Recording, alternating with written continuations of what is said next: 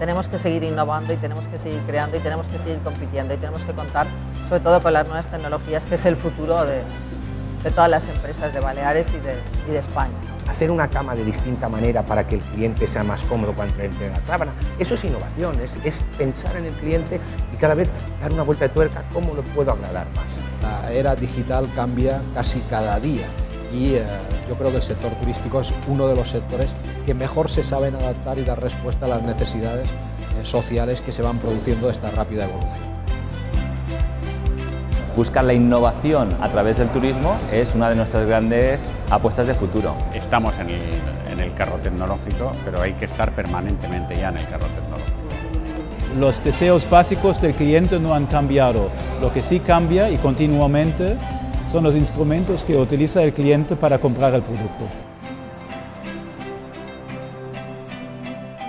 La innovación supone riesgos, supone eh, salir del territorio conocido, supone que los resultados sean como se esperaban o no sean, sean distintos. En un minuto el mundo está cambiando.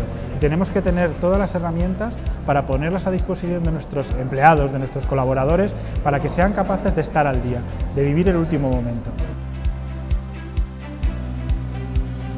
Es cierto que el mundo está gestionado por uh, unos y ceros, pero también es cierto que somos personas.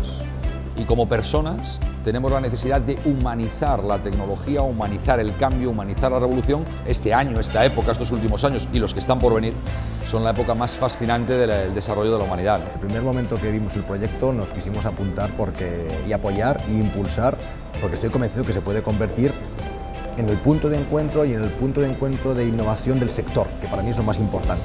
Creo que las charlas han sido muy, muy, muy interesantes, muy instructivas. Yo creo que estas jornadas al final lo que esperan los, los asistentes el poder, poder, sacar algún tipo de conclusión o algunos aprendizajes que poder aplicar después en sus, en sus compañías. Lo que se pretende es básicamente dar el conocimiento sobre la innovación y la importancia que tiene en la industria del turismo, ¿no? que básicamente en los últimos cinco años ha sido una transformación algo increíble. ¿no?